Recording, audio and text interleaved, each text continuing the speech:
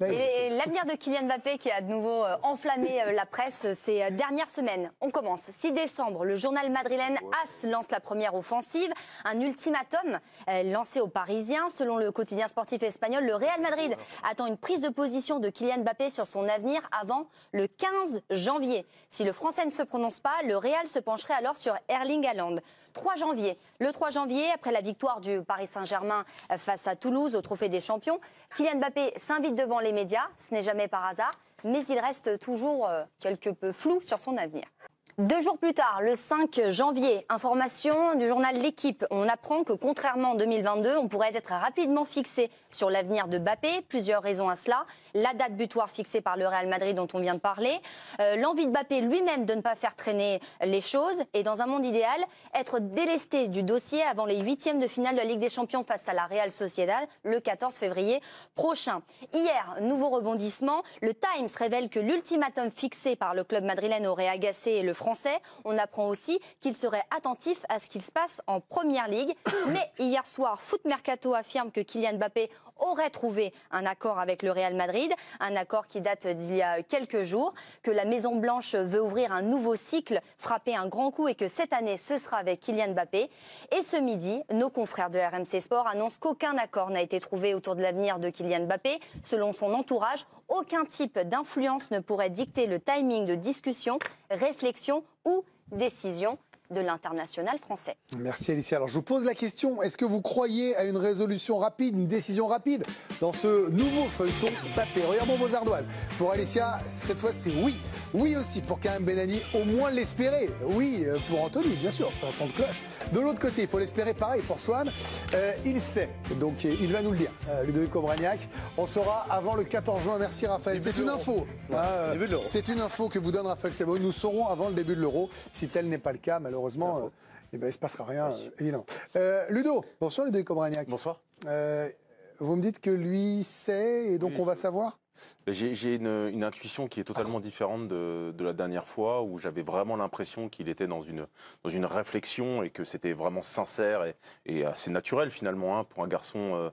il avait 23 ans à ce moment-là, d'avoir un choix cornélien à, à, faire entre deux monstres européens je sais pas, là, je le sens plus détendu, je le sens plus. Là, il est venu euh, après la Coupe de France, détendu, il a parlé.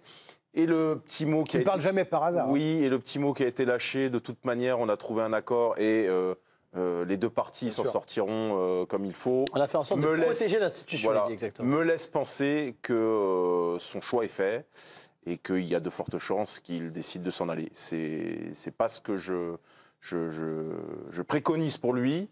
Mais je crois qu'il a décidé de rejoindre la, enfin la Maison Blanche. Vous avez tenté de lui un texto pour le convaincre? Bah non, je pense qu'il regarde les émissions, donc euh, on lui fait on lui fait un petit appel en lui disant. Entourage, oui. ouais, non, il y, a toujours ce côté pionnier, euh, précurseur, euh, qui reste avec le Paris Saint-Germain et cette ambition d'aller chercher, d'être l'unique. Il lui reste six mois, quoi. Qui au Real, tu seras un parmi tant d'autres sur le sur, sur le toit du monde. Au PSG, il aurait été quasi seul parce que c'est l'icône de ce club-là et aller chercher une Ligue des Champions, ça aurait signifié beaucoup, et notamment dans son storytelling, parce que son storytelling de carrière, il est souvent calqué sur les, les grands euh, sportifs de ce monde. Et ça fait euh, plus résonnant de gagner avec le PSG que de gagner avec le Real de Madrid. Alors le truc, euh, Swan, c'est évidemment que là, on n'a pas la réponse. Mais c'est vrai, Karim l'a dit, on a entendu Ludo qui a appuyé là-dessus. Anthony, j'imagine, va aussi revenir sur ça. Mais il sort jamais par hasard médiatiquement. Et quand il vient en disant l'institution est protégée, on a trouvé un accord, ils ne me donneront pas euh, cette prime qui équivaut à un, transfert. Grosso modo, une prime de 100 millions d'euros qui correspond à un transfert. Euh, on ne va pas verser la prime, il n'y aura pas besoin de transfert. Ça sonne, ça sonne comme un départ. Moi, j'ai confiance en deux choses. La première, c'est que, comme euh, mes copains autour de la table, j'ai confiance dans le fait que Kylian Mbappé, euh, qui fait euh, attention de manière assez intelligente à son, image, a compris à quel point un éventuel départ, euh, j'ouvre des énormes guillemets, comme un voleur du PSG, nuirait à sa cote de, popularité et nuirait finalement à un club pour lequel il a énormément donné pendant toutes ces années. Ça, c'est la première chose. La deuxième chose, c'est que j'ai confiance aussi en sa hiérarchisation de priorité dans sa carrière. C'est-à-dire qu'on n'est pas sur une année anodine pour Mbappé. On est sur une année où la gestion de son transfert pour l'année prochaine, maintenant, est essentiel pour ses objectifs qui sont plus importants, à savoir la Ligue des Champions avec le PSG, l'Euro avec la France et les JO avec, euh, avec ah la France également. Donc c'est un, un garçon qui a toujours été très bien organisé par rapport à son planning de carrière et son plan de vie. Et aujourd'hui, ça fait beaucoup plus euh, sens de prendre cette décision maintenant, euh, surtout s'il l'a déjà prise, euh, au vu des objectifs sportifs qui sont hyper importants à partir du, du début du printemps.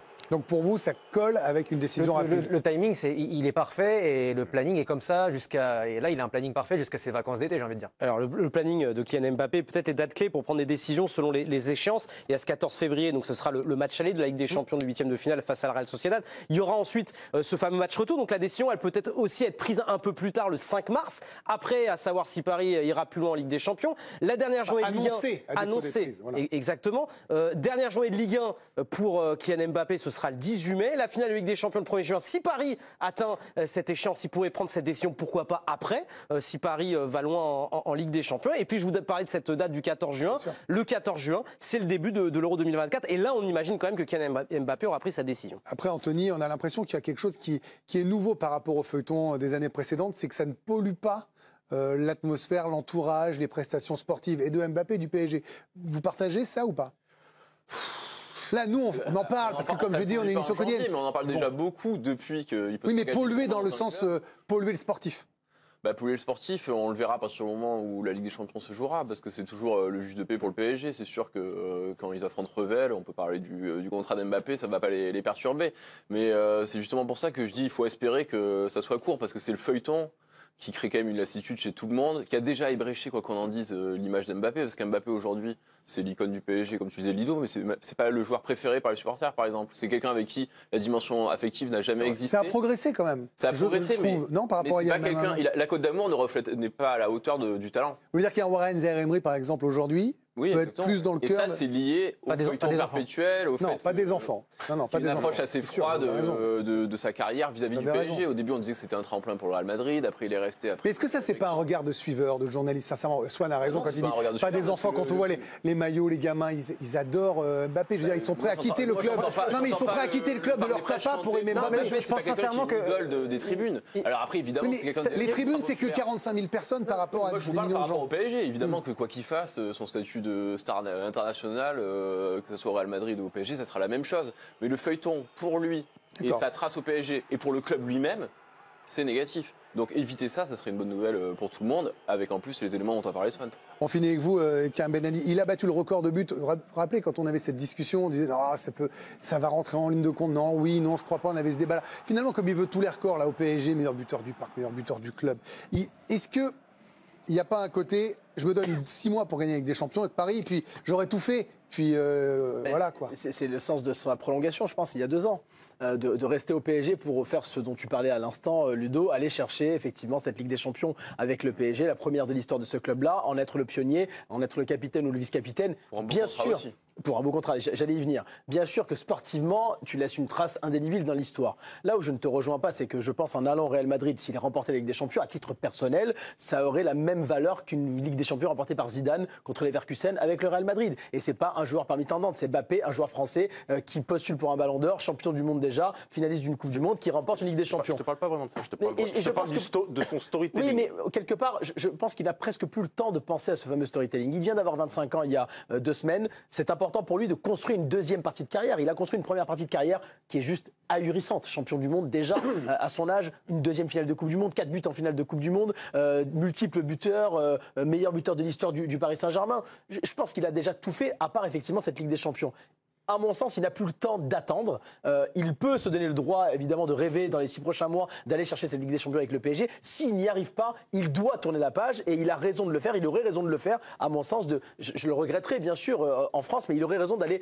tenter sa chance ailleurs pour aller chan- changer le cours de l'histoire, prendre un ballon d'or, une Ligue des Champions, peut-être plusieurs, et continuer de faire rêver aussi les joueurs en France. Et juste pour terminer, je pense que sa cote de popularité, moi, est au max. Euh, peut-être pas au Parc des Princes, mais sur la, la, majeure pas partie. mal, essentiellement de sa relation avec le moi, PSG. moi, je, moi, je te parle de la relation avec le PSG, justement, les supporters du Paris Saint-Germain, de manière générale. Je pense honnêtement que leur joueur préféré aujourd'hui, euh, j'enlève Zaire Emery, qui est un titi parisien, c'est Kylian Mbappé. Il représente le PSG, c'est l'image du club. Et, et- et voilà, et aujourd'hui, il a réussi là-dessus aussi.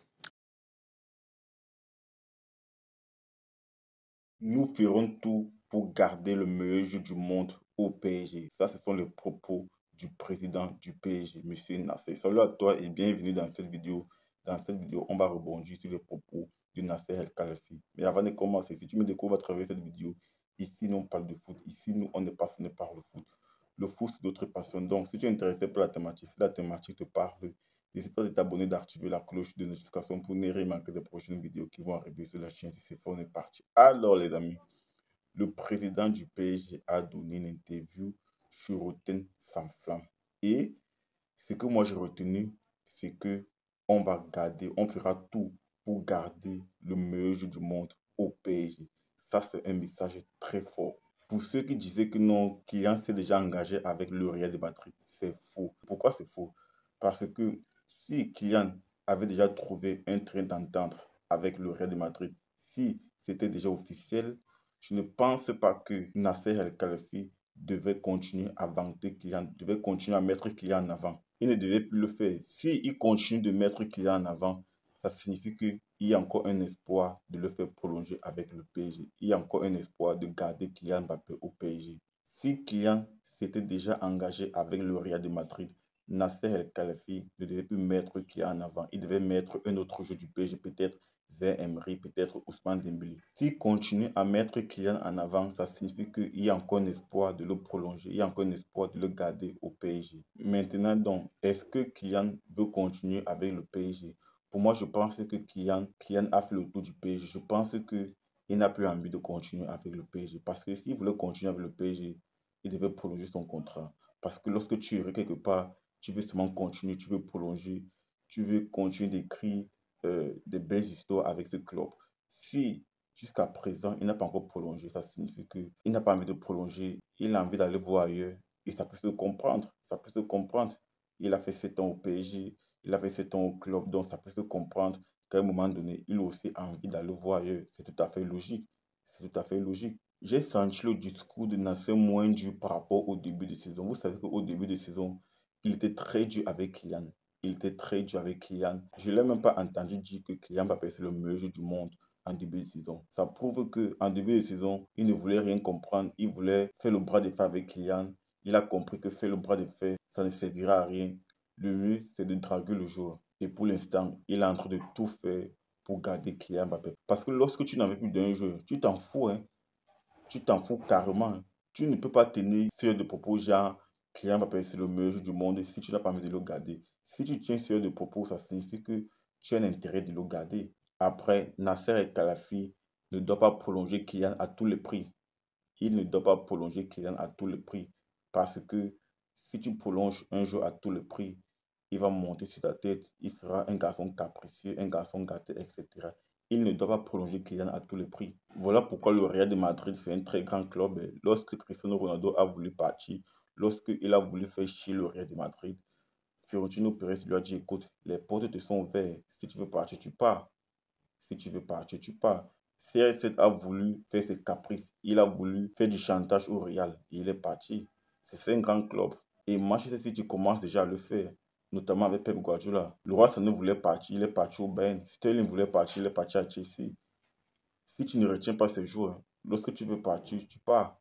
Mares voulait partir. Il est parti en Arabie Saoudite. Guardiola a tout fait pour retenir Mares. Mais il a décidé de partir, il est parti. Il ne faut jamais chercher à prolonger un jeu à tous les prix. Ce n'est pas bon pour le club, ce n'est pas bon pour l'institution et ce n'est pas bon pour le groupe. Donc, pour l'instant, Kylian Mbappé est encore en phase de réflexion. Il ne s'est pas encore engagé avec un club. Ceux qui disent que non, c'est déjà fait avec le Real de Madrid, etc. Kylian ne s'est engagé avec aucun club. Aucun club, les amis. Donc, euh, il est libre le PSG est en train de tout faire pour le prolonger. Le Real suivait ce dossier attentivement et on verra ce qui va arriver dans ce dossier. Partage-moi ton ressenti en commentaire sur la thématique. Est-ce que tu penses qu'il va prolonger au PSG ou pas? Dis-moi tout et si ce n'est pas encore fait, n'hésite pas à t'abonner, d'activer la cloche de notification pour ne rien manquer des prochaines vidéos. On se dit à très bientôt pour notre vidéo les amis. Ciao, ciao